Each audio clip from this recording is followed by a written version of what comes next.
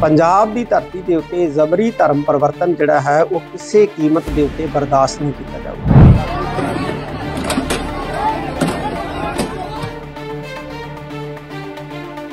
ਨਿਹੰਗ ਸਿੰਘਾਂ ਵੱਲੋਂ ਪਿਛਲੇ 6 ਮਹੀਨਿਆਂ ਤੋਂ ਪੁਲਿਸ ਨੂੰ ਦਰਖਾਸਤਾਂ ਦਿੱਤੀਆਂ ਜਾ ਰਹੀਆਂ ਸੀ ਕਿ ਸਾਡੇ ਇਲਾਕਿਆਂ ਦੇ ਵਿੱਚ ਇਹ ਲੋਕ ਜ਼ਬਰੀ ਧਰਮ ਪਰਿਵਰਤਨ ਕਰ ਰਹੇ ਨੇ, ਲੋਕਾਂ ਨੂੰ ਗੁੰਮਰਾਹ ਕਰ ਰਹੇ ਨੇ, ਲੇਕਿਨ ਪ੍ਰਸ਼ਾਸਨ ਵੱਲੋਂ ਕੋਈ ਵੀ ਇਹਨਾਂ ਦੇ ਖਿਲਾਫ ਜਿਹੜੀ ਆ ਉਹ ਕਾਰਵਾਈ ਨਹੀਂ ਕੀਤੀ। ਤੇ ਜਦੋਂ ਨਿਹੰਗਾਂ ਸਿੰਘਾਂ ਨੇ ਆਪਣੇ ਪੱਧਰ ਦੇ ਉੱਤੇ ਇਹਨਾਂ ਦੇ ਇਸ ਚਰਚਾ ਪ੍ਰੋਗਰਾਮ ਨੂੰ ਰੋਕਣ ਦਾ ਯਤਨ ਕੀਤਾ, ਜਿਹਦੇ ਵਿੱਚ ਨਾਚ ਗਾਣੇ ਚੱਲ ਰਹੇ ਸੀ ਦੰਬ ਫਲਾਇਆ ਜਾ ਰਿਹਾ ਸੀ ਪਖੰਡ ਫਲਾਇਆ ਜਾ ਰਿਹਾ ਸੀ, ਤੇ ਰਾਤ ਪਤਾ ਲੱਗਿਆ ਕਿ ਇਹਨਾਂ ਨਿਹੰਗਾਂ ਸਿੰਘਾਂ ਦੇ ਉੱਤੇ ਕੋਈ 150 ਦੇ ਕਰੀਬ ਸਿੱਖਾਂ ਦੇ ਉੱਤੇ ਪਰਚੇ ਜਿਹੜੇ ਆ 295 ਧਾਰਾ ਤਹਿਤ ਜਿਹੜੇ ਆ ਉਹ ਦਰਜ ਕਰ ਦਿੱਤੇ ਗਏ।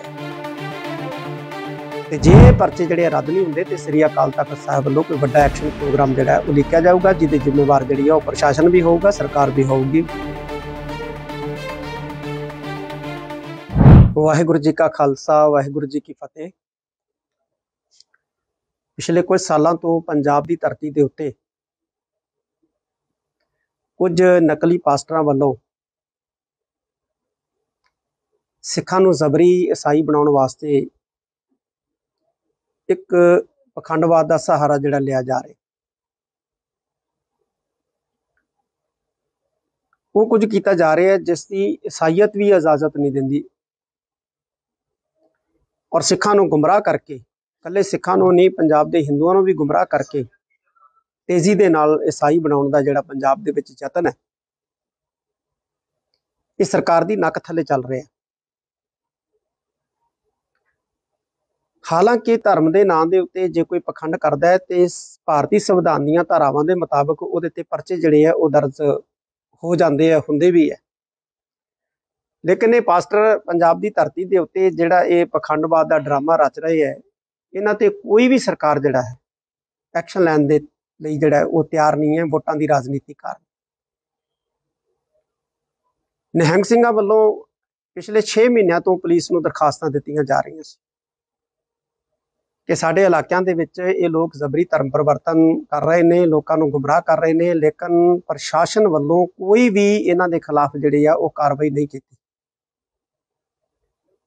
ਸਿੱਖ ਕਿਸੇ ਦੇ ਧਰਮ ਦੇ ਖਿਲਾਫ ਨਹੀਂ ਹੈ, ਨਾ ਕਿਸੇ ਦੇ ਧਰਮ ਦੀਆਂ ਮਾਨਤਾਵਾਂ ਦੇ ਖਿਲਾਫ ਹੈ। ਸਿੱਖ ਪਖੰਡਵਾਦ ਦੇ ਖਿਲਾਫ ਹੈ। ਚਾਹੇ ਉਹ ਸਿੱਖਾਂ 'ਚ ਕਿਉਂ ਨਾ ਹੁੰਦਾ ਹੋਵੇ। ਤੇ ਜਦੋਂ ਆਪਣੇ ਪੱਧਰ ਦੇ ਉੱਤੇ ਕੁਝ ਨਿਹੰਗਾਂ ਸਿੰਘਾਂ ਨੇ ਉਹਨਾਂ ਨੂੰ ਰੋਕਣ ਦਾ ਯਤਨ ਕੀਤਾ, ਜਦੋਂ ਪ੍ਰਸ਼ਾਸਨ ਨੇ ਗੱਲ ਨਾ ਸੁਣੀ, ਸਰਕਾਰ ਦੇ ਕੰਨਾਂ ਤੇ ਜੂ ਨਾ ਸਰਕੀ, ਤੇ ਜਦੋਂ ਨਿਹੰਗਾਂ ਸਿੰਘਾਂ ਨੇ ਆਪਣੇ ਪੱਧਰ ਦੇ ਉੱਤੇ ਇਹਨਾਂ ਦੇ ਇਸ ਉਹ ਚਰਚਾ ਪ੍ਰੋਗਰਾਮ ਨੂੰ ਰੋਕਣ ਦਾ ਯਤਨ ਕੀਤਾ, ਜਿਹਦੇ ਵਿੱਚ ਨਾਚ ਗਾਣੇ ਚੱਲ ਰਹੇ ਸੀ ਦੰਬ ਫਲਾਇਆ ਜਾ ਰਿਹਾ ਸੀ, ਪਖੰਡ ਫਲਾਇਆ ਜਾ ਰਿਹਾ ਸੀ।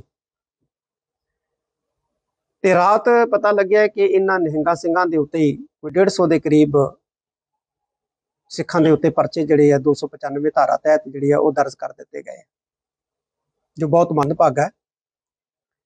ਪੰਜਾਬ ਦੀ ਧਰਤੀ ਦੇ ਉੱਤੇ ਜ਼ਬਰੀ ਧਰਮ ਪਰਿਵਰਤਨ ਜਿਹੜਾ ਹੈ, ਉਹ ਕਿਸੇ ਕੀਮਤ ਦੇ ਉੱਤੇ ਬਰਦਾਸ਼ਤ ਨਹੀਂ ਕੀਤਾ ਜਾਊਗਾ। ਭੋਲੇ ਭਾਲੇ ਲੋਕਾਂ ਨੂੰ ਗੁੰਮਰਾਹ ਕਰਕੇ ਧਰਮ ਤਬਦੀਲ ਕਰਾਉਣਾ, ਇਹਦਾ ਭਾਰਤ ਦਾ ਕਾਨੂੰਨ ਵੀ ਜਿਹੜਾ ਹੈ, ਉਹ ਆਗਿਆ ਨਹੀਂ ਦਿੰਦਾ। ਤੇ ਇਹ ਕਿਸ ਤਰ੍ਹਾਂ ਸ਼ਰੇਆਮ ਜਿਹੜਾ ਹੈ ਉਹ ਜ਼ਬਰੀ ਧਰਮ ਪਰਿਵਰਤਨ ਦੀ ਲਹਿਰ ਜਿਹੜੀ ਹੈ ਪੰਜਾਬ ਦੇ ਖਾਸ ਤੌਰ ਦੇ ਉੱਤੇ ਬਾਰਡਰ ਦਾ ਜਿਹੜਾ ਏਰੀਆ ਹੈ ਪੰਜਾਬ ਦਾ, ਉਸ ਬਾਰਡਰ ਦੇ ਏਰੀਆ ਦੇ ਵਿੱਚ ਧਰਮ ਪਰਿਵਰਤਨ ਦੀ ਜਿਹੜੀ ਉਹ ਲਹਿਰ ਚਲਾ ਰਹੇ ਨੇ। ਭਾਰਤ ਸਰਕਾਰ ਨੂੰ ਵੀ ਜਾਗਣਾ ਚਾਹੀਦਾ ਹੈ ਔਰ ਫੌਰੀ ਤੌਰ ਦੇ ਉੱਤੇ ਕਦਮ ਜਿਹੜੇ ਆ ਉਹ ਚੁੱਕਣੇ ਚਾਹੀਦੇ ਆ ਕਿਉਂਕਿ ਪੰਜਾਬ ਇੱਕ ਬਾਰਡਰ ਸਟੇਟ ਹੈ ਔਰ ਬਾਰਡਰ ਸਟੇਟ ਦੇ ਵਿੱਚ ਜੇ ਕੁਝ ਇਸ ਤਰ੍ਹਾਂ ਦਾ ਬਾਹਰੀ ਤਾਕਤਾਂ ਦੇ ਸਹਿਯੋਗ ਦੇ ਨਾਲ ਇਹ ਲੋਕ ਜਿਹੜੇ ਆ ਬਾਰਡਰ ਦੀ ਏਰੀਏ ਦੇ ਵਿੱਚ ਜ਼ਬਰੀ ਧਰਮ ਪਰਿਵਰਤਨ ਜਿਹੜਾ ਚਲਾਉਂਦੇ ਆ। ਤਾਂ ਮੈਂ ਸਮਝਦਾ ਕਿ ਭਾਰਤ ਸਟੇਟ ਵਾਸਤੇ ਵੀ ਜਿਹੜਾ ਹੈ ਖਤਰੇ ਦੀ ਘੰਟੀ ਹੈ ਆਉਣ ਵਾਲੇ ਸਮੇਂ ਦੇ ਅੰਦਰ। ਤੇ ਪੰਜਾਬ ਸਰਕਾਰ ਨੂੰ ਅਸੀਂ ਇਹ ਕਹਿਣਾ ਚਾਹੁੰਦੇ ਹਾਂ ਕਿ ਇਹ ਪਰਚੇ ਜਿਹੜੇ ਰੱਦ ਕੀਤੇ ਦਰਜ ਕੀਤੇ ਨੇ, ਇਹਨਾਂ ਨੂੰ ਤੁਰੰਤ ਜਿਹੜਾ ਹੈ ਉਹ ਰੱਦ ਕੀਤਾ ਜਾਵੇ, ਕਿਉਂਕਿ ਸ੍ਰੀ ਅਕਾਲ ਤਖਤ ਸਾਹਿਬ ਦੁਨੀਆ ਭਰ ਦਾ ਸਿੱਖ ਜਿਹੜਾ ਹੈ, ਇਹਨਾਂ ਨਿਹੰਗਾਂ ਸਿੰਘਾਂ ਦੇ ਨਾਲ ਖੜਾ ਹੈ ਔਰ ਖੜਾ ਰਹੇਗਾ। 5 ਸਤੰਬਰ ਨੂੰ ਸ੍ਰੀ ਅਨੰਦਪੁਰ ਸਾਹਿਬ ਦੀ ਧਰਤੀ ਦੇ ਉੱਤੇ ਅਸੀਂ ਇੱਕ ਵੱਡਾ ਪ੍ਰੋਗਰਾਮ ਵੀ ਜਿਹੜਾ ਉਹ ਲੈ ਕੇ ਆ, ਉਹਦੇ ਵਿੱਚ ਵੀ ਇਸ ਸੰਬੰਧੀ ਜ਼ਰੂਰ ਜਿਹੜਾ ਕੋਈ ਨਾ ਕੋਈ ਮਤਾ ਪਾਸ ਕੀਤਾ ਜਾਊਗਾ, ਵਿਚਾਰ ਕੀਤੀ ਜਾਊਗੀ। ਕਿਉਂਕਿ ਹੁਣ ਹੋਰ ਜਿਹੜਾ ਹੈ, ਪਖੰਡਵਾਦ ਦੇ ਨਾਂ ਦੇ ਉੱਤੇ ਜ਼ਬਰੀ ਧਰਮ ਪਰਿਵਰਤਨ ਜਿਹੜਾ ਹੈ, ਉਹ ਬਰਦਾਸ਼ਤ ਨਹੀਂ ਕੀਤਾ ਜਾਊਗਾ। ਕਿਤੇ ਕਮਾਲ ਦੀ ਗੱਲ ਹੈ ਕਿ ਜ਼ਿਆਦਾਤਰ ਨਿਸ਼ਾਨਾ ਜਿਹੜਾ ਹੈ, ਉਹ ਪਛੜੀਆਂ ਸ਼੍ਰੇਣੀਆਂ ਨਾਲ ਸੰਬੰਧਿਤ ਜਿਹੜੇ ਸਾਡੇ ਸਿੱਖਾਂ ਦੇ ਪਰਿਵਾਰ ਨੇ, ਉਹਨਾਂ ਨੂੰ ਬਣਾਇਆ ਜਾ ਰਿਹਾ ਹੈ, ਜਾਂ ਹਿੰਦੂਆਂ ਦੇ ਪਰਿਵਾਰ ਹੈ, ਉਹਨਾਂ ਨੂੰ ਬਣਾਇਆ ਜਾ ਰਿਹਾ ਹੈ। ਜਦਕਿ ਦੇਸ਼ ਦਾ ਜਿਹੜਾ ਕਾਨੂੰਨ ਹੈ, ਉਹ ਕਹਿੰਦਾ ਹੈ ਕਿ ਸਿਰਫ ਤੇ ਸਿਰਫ ਰਿਜ਼ਰਵੇਸ਼ਨ ਦਾ ਜਿਹੜਾ ਲਾਭ ਹੈ, ਉਹ ਹਿੰਦੂਆਂ ਸਿੱਖਾਂ ਨੂੰ ਮਿਲਦਾ ਹੈ। ਈਸਾਈਆਂ ਨੂੰ ਨਹੀਂ ਮਿਲਦਾ। ਤੇ ਫਿਰ ਈਸਾਈ ਬਣ ਕੇ ਰਿਜ਼ਰਵੇਸ਼ਨ ਦੇ ਲਾਭ ਜਿਹੜੇ ਹੈ, ਇਹ ਕਿਸ ਤਰ੍ਹਾਂ ਲਏ ਜਾ ਰਹੇ ਨੇ ਪੰਜਾਬ ਦੀ ਧਰਤੀ ਦੇ ਅੰਦਰ? ਇਹ ਵੀ ਇੱਕ ਬਹੁਤ ਵੱਡਾ ਜਿਹੜਾ ਹੈ, ਉਹ ਚਿੰਤਾ ਦਾ ਵਿਸ਼ਾ ਔਰ ਸੋਚਣ ਵਾਲੀ ਗੱਲ ਹੈ।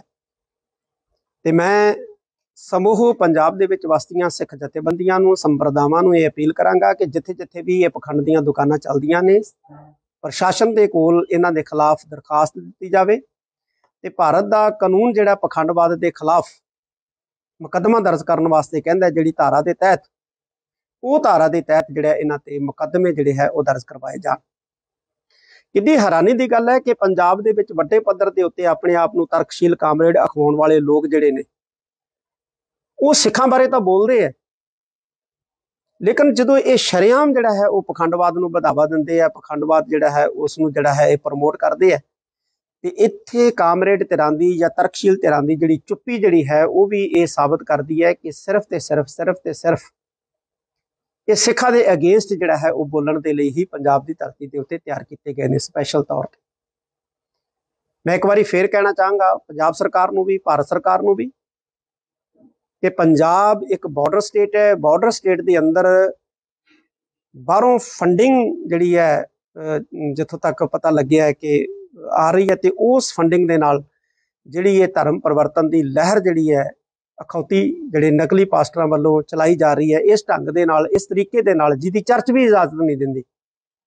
ਮੈਂ ਸਮਝਦਾ ਹਾਂ ਕਿ ਬਹੁਤ ਮੰਦਭਾਗਾ ਹੈ, ਭਾਰਤ ਸਰਕਾਰ ਨੂੰ ਇਹਨੂੰ ਨੱਥ ਪਾਉਣ ਦੀ ਜਿਹੜੀ ਹੈ ਫੌਰੀ ਤੌਰ ਦੇ ਉੱਤੇ ਜ਼ਰੂਰਤ ਹੈ। ਤੇ ਨਹਿੰਗਾ ਸਿੰਘਾਂ ਦੇ ਉੱਤੇ ਪਰਚੇ ਜਿਹੜੇ ਆ, ਉਹ ਦਰਜ ਹੋਣ ਰੱਦ ਹੋਣੇ ਚਾਹੀਦੇ ਨੇ। ਤੇ ਜੇ ਪਰਚੇ ਜਿਹੜੇ ਰੱਦ ਨਹੀਂ ਹੁੰਦੇ, ਤੇ ਸ੍ਰੀ ਅਕਾਲ ਤਖਤ ਸਾਹਿਬ ਵੱਲੋਂ ਕੋਈ ਵੱਡਾ ਐਕਸ਼ਨ ਪ੍ਰੋਗਰਾਮ ਜਿਹੜਾ ਉਹ ਲਿਖਿਆ ਜਾਊਗਾ, ਜਿਹਦੇ ਜ਼ਿੰਮੇਵਾਰ ਜਿਹੜੀ ਆ, ਉਹ ਪ੍ਰਸ਼ਾਸਨ ਵੀ ਹੋਊਗਾ, ਸਰਕਾਰ ਵੀ ਹੋਊਗੀ। ਵਾਹਿਗੁਰੂ ਜੀ ਕਾ ਖਾਲਸਾ, ਵਾਹਿਗੁਰੂ ਜੀ ਕੀ ਫਤਿਹ।